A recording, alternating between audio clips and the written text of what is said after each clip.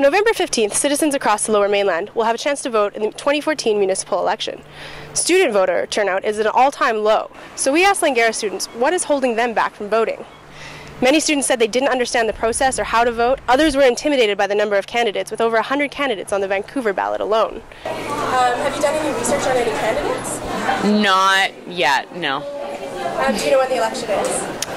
I know when the advance voting is for my municipality that I work at, but I live in Vancouver now, so I don't know if they're the same, to be honest.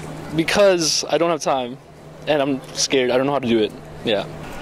It's actually quite easy to vote. All you need is one piece of ID and a piece of mail with your address on it, or a piece of ID with your address on it. Advance polls open across the city at eight locations starting November 4th. 8 a.m. to 8 p.m. all the way until November 14th. And then on November 15th, there's dozens of locations all over the city that you can vote. Things for like transit for me is a huge problem because you know I'm waiting three or four buses in the morning and it's making me late for school now.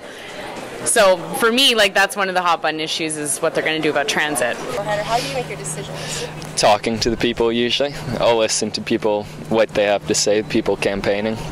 I get a general idea of what's going on and then try make an educated decision. The cheapest apartment I can find downtown is $1,200 a month. That's crazy.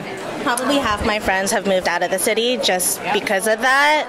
Uh, they've all gone to Edmonton, Calgary, and like I love Vancouver. I was born here. I don't want to move away. It's another four years until the next municipal election, so if you want your voice to be heard this time, make sure you get out there and vote on November 15th. For Langara Voice, I'm Ash Kelly.